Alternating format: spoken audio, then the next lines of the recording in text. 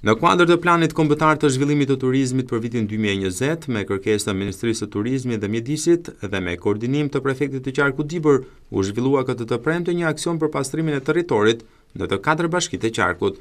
Në këtë aksion u angazhuan punonjës të administratës vendore në katër bashkitë, si dhe të institucioneve qendrore në nivel vendor. Bashkia e Matit u angazhua me punonjësit e saj në pastrimin e territorit jo vetëm brenda qytetit të Burrelit, por edhe në rrugët nacionale. Kjo është edhe arsyeja e nismës që sezoni turistik i këtij viti të gjejë dukshëm më të pastër territorin. Gjatë kësaj të premte është pastruar aksi nacional Burrel-Shkopet, ai Burrel-Ura e Lusës, qendrat e njësive administrative rrugët rurale e të tjera. Kjo nismë e Ministrisë së Mjedisit për të pastruar territorin vijon nga viti i kaluar dhe është shtrirë në të gjithë vendin.